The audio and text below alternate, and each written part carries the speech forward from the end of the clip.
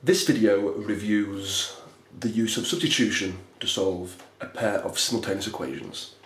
Now then, with this configuration, we have an equation involving x and y, and a second one which has y equals, in this case, 2x minus 4.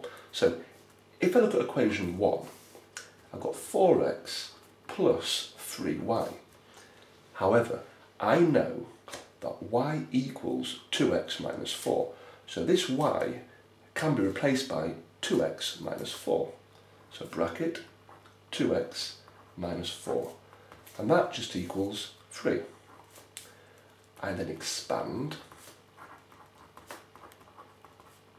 I simplify.